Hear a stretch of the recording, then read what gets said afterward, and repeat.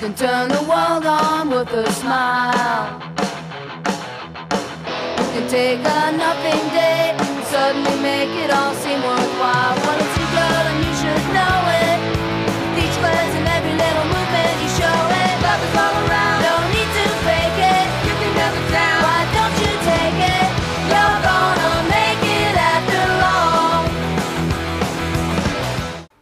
Hi, everyone. Welcome to the show. Today is Thursday, May 2nd.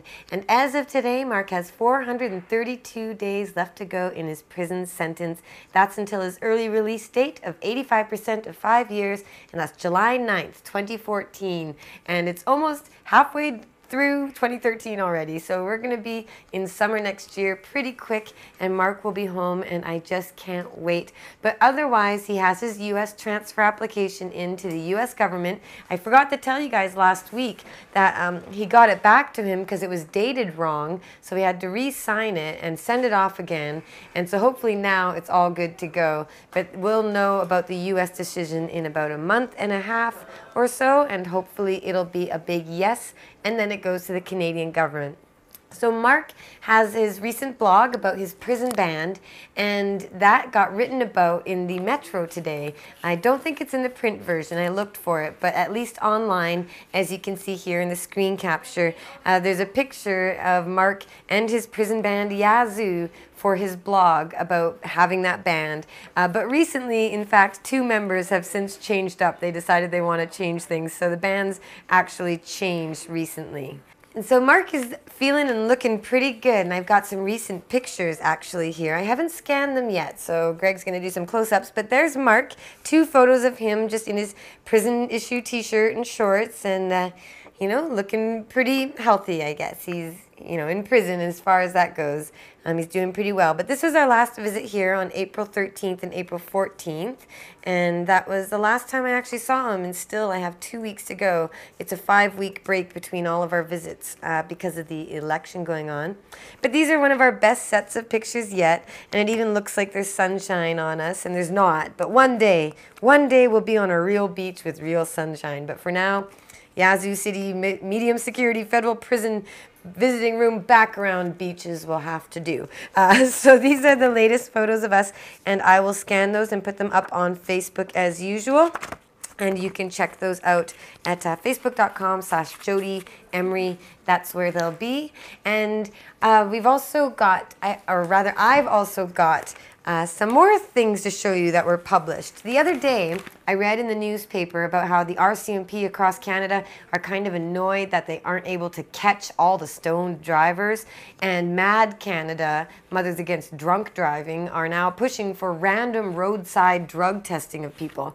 And I wrote a letter to the Vancouver Sun and the province newspapers saying why um, that's wrong and why, when it comes to driving impairment, it's proven by performance. So the province actually ran the letter in a much more edited version. Impairment is complex, and that was pretty good there. But the Vancouver Sun ran the full letter pretty much, and uh, I'd love to read it aloud to you guys, and I will quickly. Driving impairment can be caused by many things, including lack of sleep, using a cell phone, consuming cold medicine or legal pharmaceuticals, applying makeup while behind the wheel, and many other scenarios. Impairment is proven by performance, not based on determining what substance a driver has consumed. If a vehicle is driven dangerously, be it recklessly swerving on the road or slowly drifting out of a designated lane, that danger to the public is demonstrated by the actions. Random roadside drug screening, as suggested by MADD Canada, violates personal privacy and individual liberty. Testing drivers for marijuana use isn't about testing for impairment, it's about identifying and punishing marijuana consumers. Impairment is caused by many different things, but roadside drug screening is simply targeting people who use pot. In the hunt for impairment on the road, remember that dangerous driving is always proven by driver performance, regardless of whether a joint was smoked or not. Jodie Emery, BC Green Party candidate, Vancouver West End. So that was my letter in there, and I hope that message, in fact, helps you guys out there whenever you're asked about marijuana and driving. And in fact, there are studies that prove uh, that marijuana consumption actually makes for safer driving. And I'm not making that up. It's out there on Google. Search, uh, search it up, or go to cannabisculture.com and search for driving and impairment.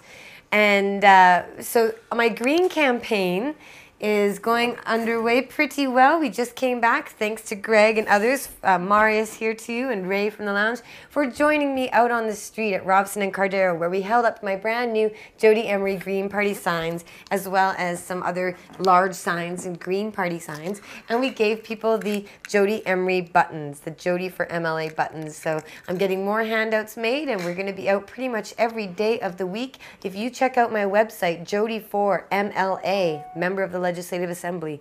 Jodie for MLA.ca or just jodieemery.ca will take you there. You'll find my website with some photos and videos, and I'm going to be adding a lot more updates. I have so much to share, so little time to do it, but uh, you can stay tuned to how my campaign is going on there and on my Twitter account, which I update regularly, and on Facebook, which I try to update as much as possible. Now, big event this weekend worldwide, the Global Marijuana March. Every single year, millions of people worldwide gather together and march in their cities alongside their fellow cannabis consumers and their fellow fighters for freedom, calling for justice and calling for peace, calling for compassion and tolerance, and saying, stop hurting harmless people who aren't hurting others. And that's what this fight is for. It's for freedom of peaceful people. And we have people marching all over the world, and I'll be here in Vancouver. The first year I haven't been in Toronto, and I'm sorry, Toronto, but I'll see you guys next year maybe. But this year I can't make it. My dad's birthday is on the weekend, and I'm going to do the Vancouver March, and the election is coming up. So I'm going to help out with the Vancouver Global Marijuana March. If you're in Vancouver or the Lower Mainland, come on down this Saturday at noon at the Art Gallery. We start to rally, and at 2 p.m. the march goes down to English Bay, which is right down to my riding. So I'll be there in the parade with my signs and with other messages of peace for and no prison for pot and all sorts of other messages we bring to you with the Global Marijuana March. So go online, Google search Global Marijuana March. You'll find the web pages that list all the different cities. And if you don't have one near you, Get some friends, get some markers, get some cardboard, and get out on the street because you may not be able to be part of the biggest marches in the world, but those marches all started small, so maybe you can make a difference and do that too. So get inspired and get out there this weekend and know that you're marching alongside millions of others, even some small groups, some large groups. We're all in it together, and it's a worldwide call for justice and liberty and freedom. Now I'm going to wrap this up pretty quick. I've got a film crew here to do some video work for Vancouver Television. I've got Canadian Press calling me later today. I've got business to take care of. I've got election stuff to take care of and myself to take care of and Marc too. So I've got to get going, but I appreciate you all tuning in as always. And I'll do a draw next week. As you know, I normally do it here. I'll just show the goodies. I'm not going to do it this week, no time. And also it'd be good to get some more entries. I didn't share the show last week, but free mark pin Freemark stickers, and the Freemark t-shirt.